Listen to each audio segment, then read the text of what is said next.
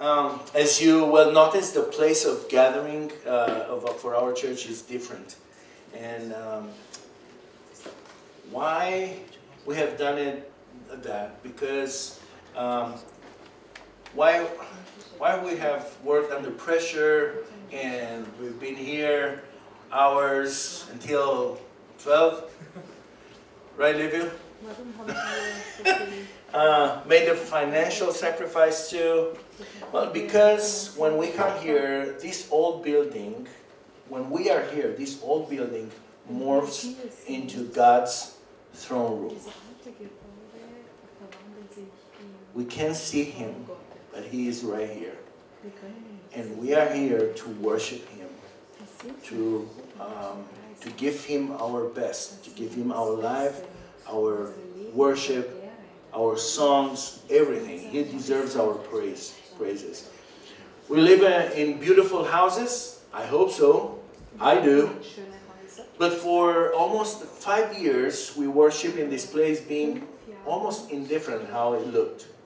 Um, the proper time came and we've done something about this and because we want to change something. And not just the building, okay? We need a start. We need a fresh start to think about the people that are passing by here. And they look at us and what they are doing here. Um, well, we started uh, with the place of worship, but we need to change our entire attitude toward God. We do. I need to change my attitude toward God. Um, and I hope and I pray that this is just the beginning and this is an important year for our church because we want to outreach more and to go and to know more people by the same standards. Not just God, know God, love God, serve God, but know more people and love more people and serve more people. Um, and uh, to make a difference, okay? To make a difference, it's the opposite of indifference. To be indifferent is to make not a difference at all. It's like, so what? But to make a difference is to change something. And to change something, first of all, in order to change something, you need, in order to change something, you need to change yourself, to let the Holy Spirit of God to change you. Um, I think it's better to let uh, the Holocaust uh, survivor and Nobel Prize winner, Elie Wiesel, to define indifference for us. He said, uh, well, in, in, in spring of 1944, he was deported to Auschwitz together with his family, and he was selected by SS Dr. Mengele, or how is that said, to, to forced labor. In January 1945, he was moved to Buchenwald, and, and he lost all his family. In April 1945, he was liberated by the Americans and he, he has seen the, the, the whole indifference in the Nazi um, death camps. And this is his definition. In a way, to be indifferent to that suffering is what makes the human being inhuman. Indifference, after all, is more dangerous than anger and hatred. Anger can at times be creative. One writes a great poem, a great symphony, one does something special for the sake of humanity because one is angry at the injustice that one witness, witnesses. But indifference is never creative. Even hatred at times may be elicit a response. You fight it, you denounce it, you disarm it. Indifference has no response. Indifference is not a response. Indifference is not a beginning. It is an end. And therefore, indifference is always the friend of the enemy, for it benefits the aggressor, never his victim, whose pain is magnified when he or she feels forgotten. The, the political prisoner in his cell, the hungry children, the homeless refugees, not to respond to their plight, not to relieve uh, their solitude by offering them a spark of hope. I like this. A spark of hope is to exile them from human memory. And in denying their humanity, we betray our own. Indifference then is not only, and I love and I want to emphasize, is not only a sin, is more than a sin. Indifference is a punishment. Um, a case of alarming indifference can be found in the scriptures in the book of Haggai. His name is very interesting, Hey, guy. um, let me introduce you to this and, and, and then we will um, read a little bit from it. In, in 538 BC, Cyrus the Great gives an edict that the temple in Jerusalem to be uh, rebuilt and worship to be restarted. The book of Ezra, if you are interested read the book of Ezra, gives all the details about returning, the, the Jews returning uh, to their land under Zerubbabel. By the way, his name, Zerubbabel, means born in Babylon. That's why Babel at the end. Born, so he's a prince, but he was born in captivity. Uh, he didn't I mean, everything he knew about Jews was from their history, from the books. But now he's the one bringing them back. Almost 45,000 people, something like that. Because of the pressure uh, that was uh, there, they, uh, they started to rebuild the temple, but because of the pressure, they stopped. They built the altar, they laid the foundation for the temple, and all the nations surrounding, they, because it was like a no man's land, they were intimidating them and they stopped. By the way, they stopped for 16 years. So under Cyrus the Great, they were uh, challenged to come back and rebuild the temple. And the temple start, this rebuilding start, uh, stopped for 16 years. Um, times were of confusion when Haggai and Zechariah brought prophecy from God saying, look, come back and, and restart their, uh, my, my temple. Um, they start to preach, and their sermons were not abstract. Uh, their sermons were in a, uh, for a time of crisis, and uh, this time was like a political crisis, economical crisis, um, and social crisis. So imagine everything was hard, and now you hear two prophets saying, Come on, guys, let's rebuild the house of the Lord. If you would be uh, the, the Jews at that time, you know why they are called Jews? Because from exile, from, the Bab from Babylon, just two tribes came back, Judah and Benjamin. So the Jews, the, the southern kingdom, that's why the Jews. So if you'd be like them, what do you would do? We are too busy. And it's, it's, we don't have money, we don't have time. Uh, it's not the proper time to rebuild the house of the Lord. So imagine these two guys, Haggai and the other guy, Zechariah, saying, hey, you should do this. And, and they were confused. Now, let's read. Um, the book of Haggai, chapter 1. Um, Haggai, chapter 1, the whole chapter. So brace yourself, we'll uh, read a lot today. In the second year of Darius the king, in the sixth month, on the first day, so remember this, first day of the month, the word of the Lord came by the hand of Haggai, the prophet, to Zerubbabel, the son of Shealtiel, governor of Judah, and to Joshua, the son of Jehozadak, the high priest. Thus says the Lord of hosts, these people say the time has not yet come to rebuild the house of the Lord. Then the word of the Lord came by the hand of Haggai the prophet. Is it a time for you yourself to dwell in your paneled houses while this house lies in ruins? Now therefore, thus says the Lord of hosts, consider your ways. You have sown much and harvested little. You eat, but you never have enough. You drink, but you never have your fill. You clothe yourself, you clothe yourself, but no one is warm. And he who earns wages does so to put them into a bag with holes. Thus says the Lord of hosts, consider your ways, go up to the hills and bring wood and build the house, that I may take pleasure in it and that I may be glorified, said the Lord. You looked for much, and behold, it came to little. And when you brought it home, I blew it away. Why? declares the Lord of hosts.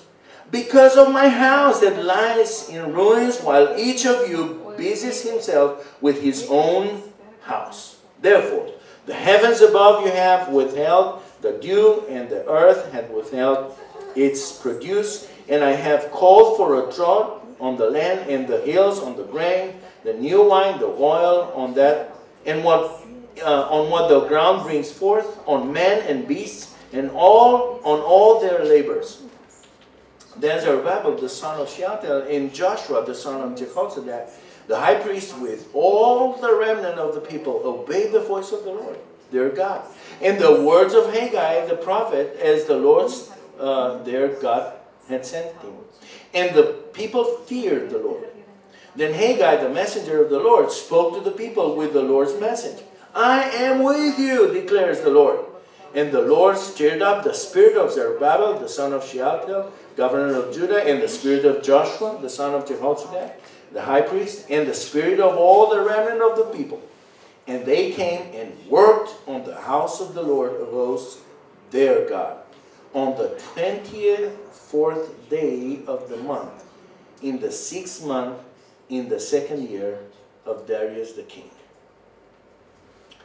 Uh, this is an interesting account of, of the rebuilding of the temple. By the way, this is the temple that Jesus ministered in. It was enlarged by uh, Herod the Great, but this is the beginning of the temple, the second temple. Well, I would like to talk to tell you a few few things about the sin of indifference. Okay, to be indifferent, it's a sin. Um, and in the first five uh, verses, you see the uh, like an X-ray of the indifference in their lives and also in our lives. Um, verse two, you see uh, who is who are indifferent here. Well, everybody, everybody. Um, the remnants of Israel, the whole people, but also the leadership. The leadership were they were indifferent. Um, to what? They were indifferent to accept God in daily life, in their daily life. Um, you live in a house, but I don't. God said, you live in your houses, but I don't. My house is desolate. Um, they have placed their personal interest before God's interest. And God said, my house is in ruin. And the word there means to be dry, to be desolate, to be waste, not inhabited. My house is not inhabited. So I send you back to build my house, but it's not the proper time for my house to be built. So your interest, my interest, eh, they don't coincide. Even when the house of, oh, house of the Lord was in ruin, they felt no difference. So what? What's the big deal? Um, and then in verse 2 you see the reason why.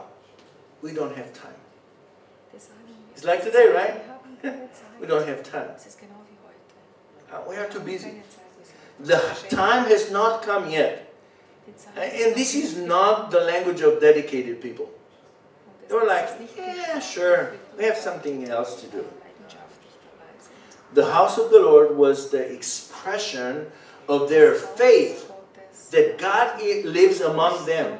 And they said, uh-uh, no, it's not time. We don't have time for this. But yeah, God is our God. We are in a covenant with Him, in a covenant relation, but we don't have time for Him. He's not central for us. Um, now, verse 5 says why the cause of their indifference. Because their conscience was frozen was dead.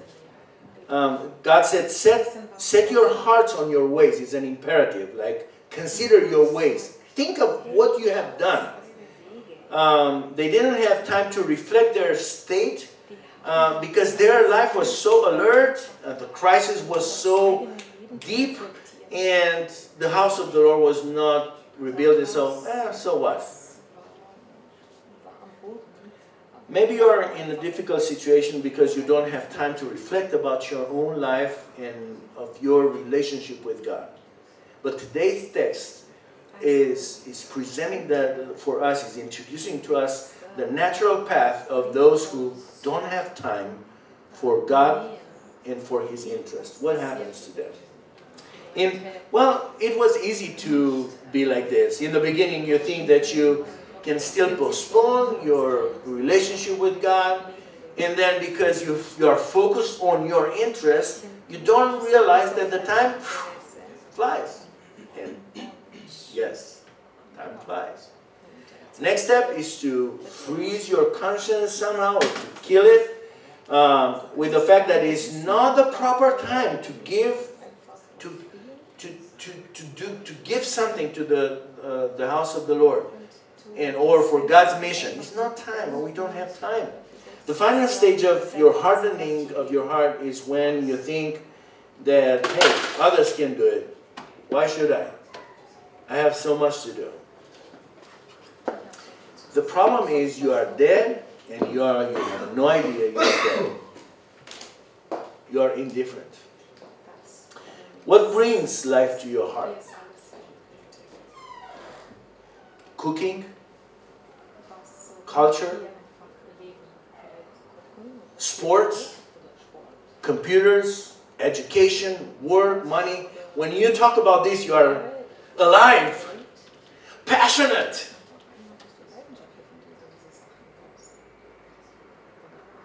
How about the relationship with God? Eh, that's for Sunday. You see the difference?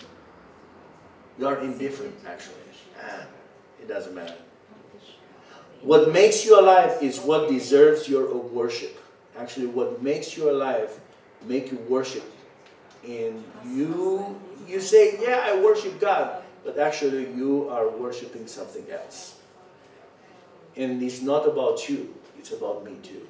We are, all of us, we are in this. Uh, is there anything that gives you more energy and life? You give more effort, you give your time, you give your money to? Then this is your functional idol. You declare, you sing, you know, God is my God. But actually, you serve someone else, something else. This is your God, actually.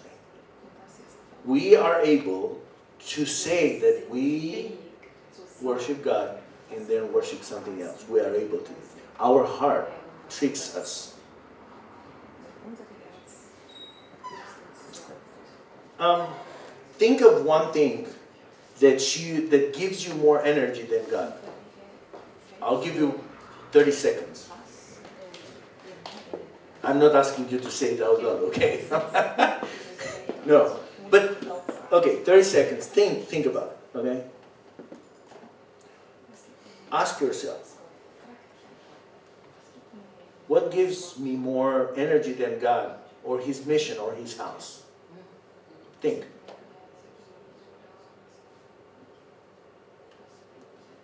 Ten more seconds.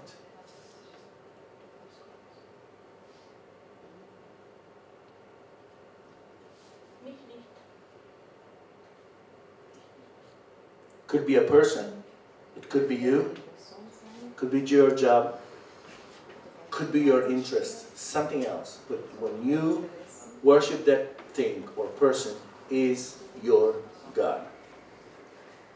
Okay, I what I will ask you just do this. If you already picture something, if you have something in your mind, raise your hand. Okay, thank you for thinking and taking time. Well, 30 seconds is not allowed, but you know, it's okay. It's a good, you, you should go home and make a list with things that makes you alive, you know, passionate and not God. And then this is your idol. Uh, the lack of time is a problem of the modern man, and uh, time is made according to our priorities. If God is not number one in your priority, then He uh, he, he he's somewhere, I don't know, maybe third, fourth, or not even among the ten, the first ten uh, things in your life. Um, God is not a passenger in your life that gets off and next, you know, next station, uh, or that can uh, uh, get crowded out of your life because you have too too much to do on going on, and um, you need to clear out some stuff, and you clear out God. God is not a garage garage sale option, you know.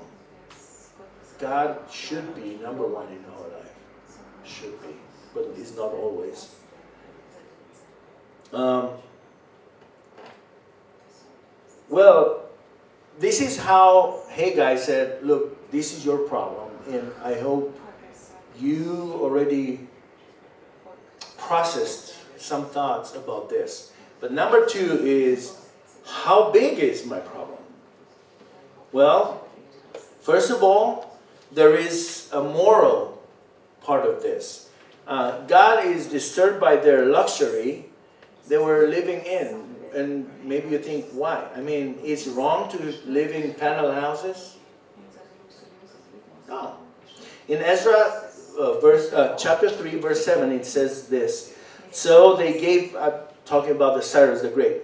So they gave money to the masons and the carpenters and food, drink, and oil to the Sidonians and the Tyrians to bring cedar trees from Lebanon like quality, high quality trees, uh, timber, from Lebanon to the sea to Joppa, and according to the grant that they had from Cyrus, king of Persia. So when they moved in the country, they brought wood with them. Best quality from Lebanon. Now, where is that wood? Where do you think is that wood now? Come on, think. Yeah. They said, and believe me, we are like this. They said, you know, I will borrow some wood from the Lord. And when it's the time, I will bring it back. But you know what was the, their problem? There is no time. So, the wood, you know, great A wood was in there. They paneled their houses. And they, looking at the wood, I was like, man, this is a beautiful house I have. How about the uh, house of the Lord? Not the proper time. so, um, they just borrowed from the Lord. But you see the moral problem here? They never borrowed, they just took it. And I don't think they were ready to give it back. It's no difference. I mean, God will not see that uh, as a problem because we are His people, right? We are His family. Um, and I don't know, maybe you think, why are you saying this to us? Because we are, you know, we are sacrificing for the Lord. We are here. But yeah, but sometimes, you know, we to take a credit and and you reduce, reduce your tithing because you don't have money anymore. Uh, um, you have uh, heard a dozen calls in the church about, you know, like a prayer meeting. Let's do a prayer meeting. Well, we don't have time. Oh, let's go out and, and spend some time together. Well, we don't have time. Uh, come here and let's do this. Well, we don't have time. You see, we are doing this. It's, it's I, I, this is me too. I'm talking to myself. Sometimes we waste time just watching movies. And we can do whatever we, you know, or play video games or I don't know, what, talking to some peers. But if somebody will say, come and let's have like two hours prayer. Oh man, this is too much. Let's, uh, let's uh, listen to a sermon together. Oh man, I don't have time. Uh, we are like this. We are, we are borrowing from God's time, thinking that we will give it back and we are not. And we are not. Stop stealing from God. Stop treating God lightly. When maybe it's time to repent, maybe it's time to surrender, say, Lord, I, I'm like this.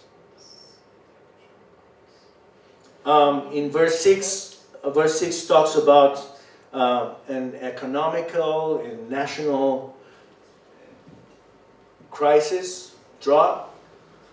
God said, You have planted much, but harvested little. Um, the lack of welfare, you eat and never have enough. You drink, but you are never full. Uh, the lack of comfort, you put clothes on, but you are not warm. Inflash, inflation, you earn wages uh, only to put them in a purse with holes. You don't see that money uh, anymore. And um, they, they were not giving proper um, attention to the highest priority in their life, which is God. And they said, so what? We'll work more. And I will give more time to this. And finally it will work. And God says, I blew it up. Why? Well, my house. My house is desolate. And, and you are blind. You, you, you don't see this. It's nobody's fault but you and me. We are not in a good relationship with our Lord, and He is sending us signals uh, about our situation, and we are too blind. We don't see it. Um, verse 9 a lot of expectations. Oh, I, I hope I, I will do more. And God blows it. I blew it away. We are so dedicated to our personal interest. You see when, when it says that um,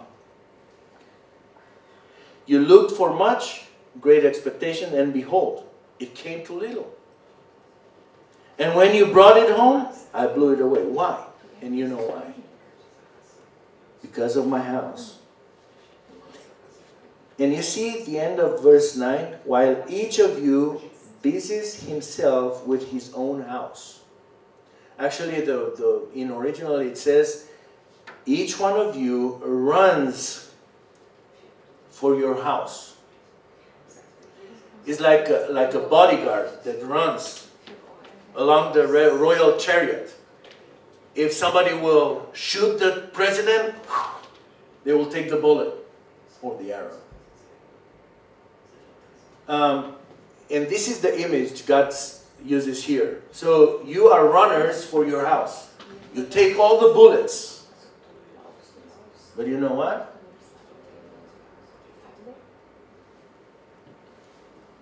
There is no interest for me. Total dedication for personal interest, but not for God's interest. And they say, well, there's no difference. I run for my house. This is what the Lord likes. It's my family. But the Lord says, and how about the relationship with me? You forgot about that. So, we have great expectations. We have great plans for the future, for ourselves and for our families. But how about for the house of the Lord? And I'm not talking about this. Um, you understand, right? It's not Burgas 104. The house of the Lord is our heart now. But this place is also needs to look nice because for few minutes, an hour and a half, two hours, this place is the throne room, God's throne room. And this is why we, we did that. And if you read more, like after verse 10 to 15, God is ready now to confront their indifference. Um, and, and, and God is not confronting the, the symptoms, but the cause. The cause was spiritual. The symptoms were physical, like the house. But the, the, the, the root was in their heart. Instead um, of doing, you know, working for your working your land, your garden, your family, You should be busy repenting. And God is in control. And he said, always, if you if you read, it's like, I did that. I called that. I called the drought. I did that. And, and, and I'm responsible for this.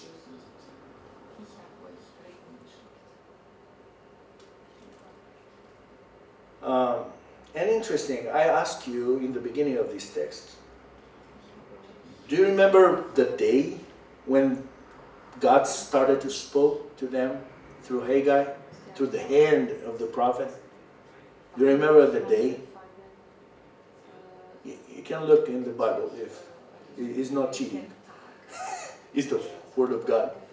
Could you tell me what is what day was that?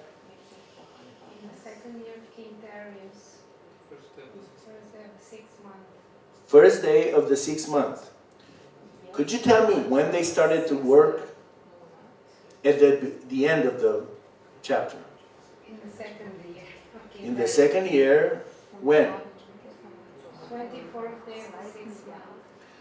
Same month, sixth month, right? What day? 24th. So, what was difference? What they did before between first day of the sixth month and the 24th day? The delay was pretty big, oh, right? Like, God talked to them, told them what is going on in the first day of the month. But they started to do something about it in, the, in day 24. I will tell you what happened. When God sent Haggai, it was the harvest time. They were too busy.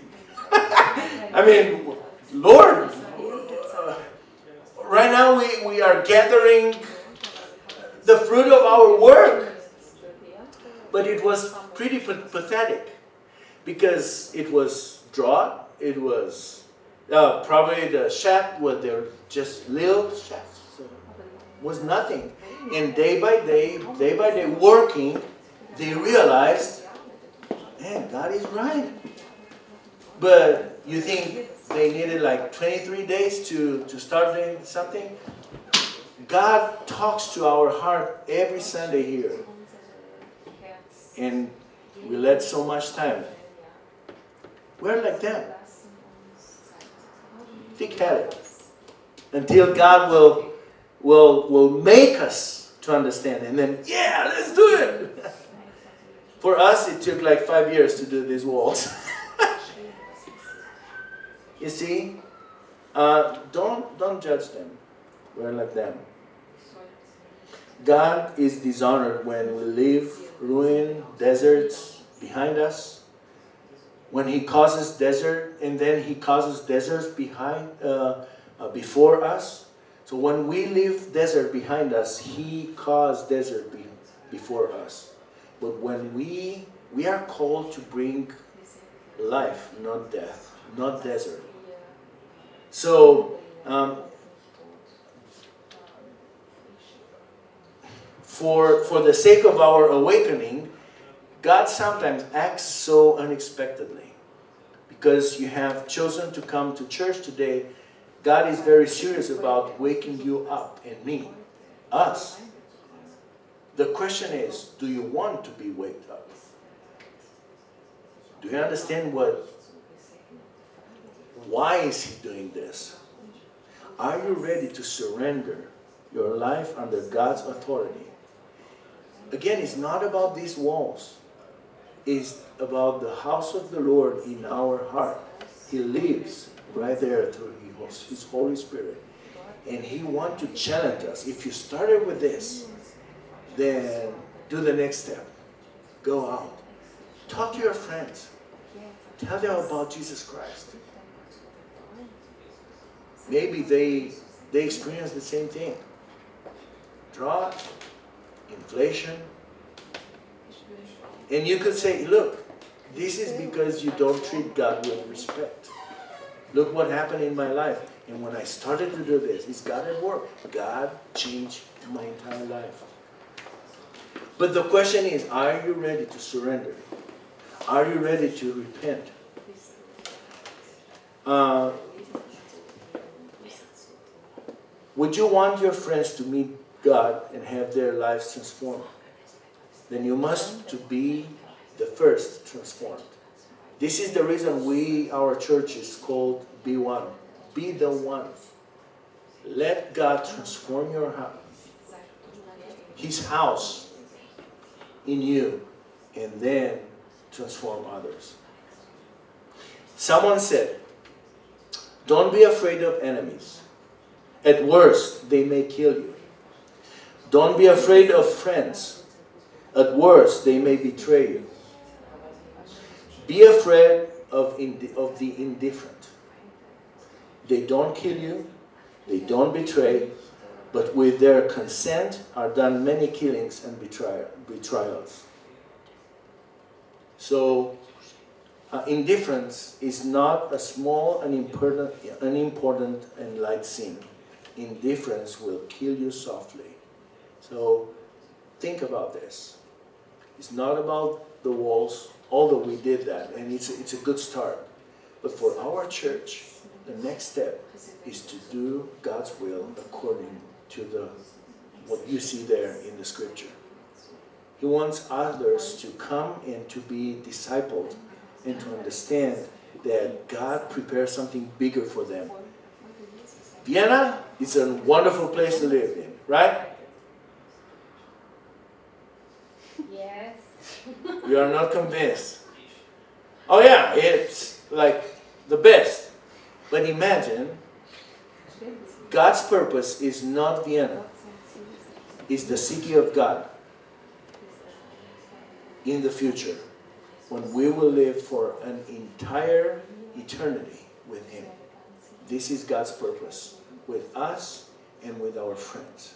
So, uh, if you need some time to repent today, I think we can do that. Let's spend some, we have enough time. Let's spend some time in, in surrender, to, to surrender something to Him. Maybe our indifference. It's a, it's a serious sin. Uh, maybe it's our pride. Maybe it's our faulty thinking saying that we don't have time for the Lord. I don't know. But I hope the Holy Spirit of God talk to your heart and you know what to tell God. So let's take a few minutes and each one of us will pray to God directly and then we'll see.